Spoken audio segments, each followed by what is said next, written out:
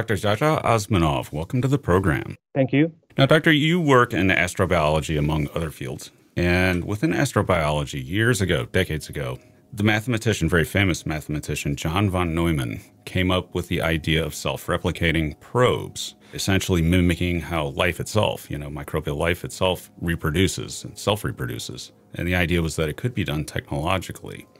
Now, in the case of the von Neumann probe, we have the very special possibility that with such a self replicator, they could be in every star system in the galaxy at sub relativistic speeds.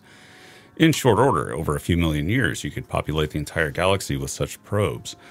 If that is the case, how do we begin looking for them just in case there might be one in this star system? Well, there are several parts we have to understand. Uh, first is uh, if we are talking about standard von Neumann probes, which von Neumann has was uh, talking about, I'm actually not talking about this particular you know kind of von Neumann probes, but some kind of in my paper I actually extended the idea of von Neumann. I propose that if ETs exist, okay, if they are technologically advanced enough, then you know, the major question is what is the most rapid case for colonizing the, you know, some, some certain part of Milky Way or space? As it turned out, uh, the best way is to use uh, not just, you know, standard big length scale probes, but microprobes. It turned out that actually, if microprobes, very small length scale probes exist, of course, and in any case, I have to say that if they exist, because we don't know, we have no data about uh, about ETs if they exist. But we have to we have to say always that if they exist, if they have enough technology, uh, level of technology, then the best way is to is to colonize the universe for by by by using microprobes, because the time scale of colonizing is very short in case of small scale, small length scale self replicators. But it depends on you know on several factors. In my calculations, actually, I I've shown that depending on uh, on parameters, on particular parameters of of nebulae, for example, of a particular place in uh, in in Milky Way. Let's uh, let's talk about Milky Way because it's not very it's it's quite typical for us. And in, in Milky Way, we can find a lot of different kinds of nebula or some diffusive hydrogen nebula case, uh, you know, uh, stuff.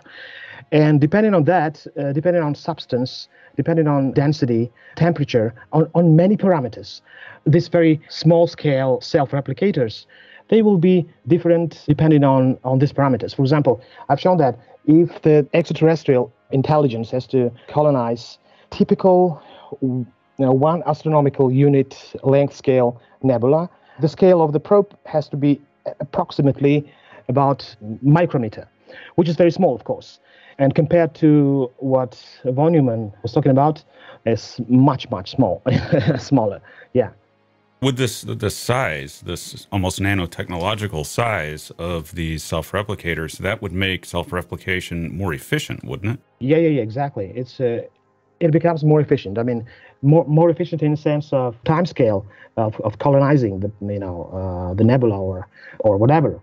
Can they function? You know, if you look at, at classical views of nanotechnology, at least projecting them into the future, could they work in you know a concerted effort? In other words, could the von Neumann probe look more like a cloud than an actual singular object?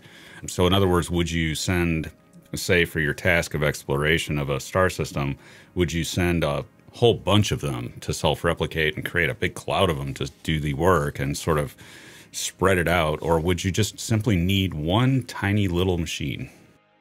Oh, okay. In my calculations, what I what I've done is uh, the initial. I took just you know a very very natural number of uh, of initial number of self-replicators, about 100, let's say. And finally, the number of replicators at the end of, of, a, of colonizing. I call it colon, colonization, but it's, it's probably more I think it's it's exploration. It's not colonization.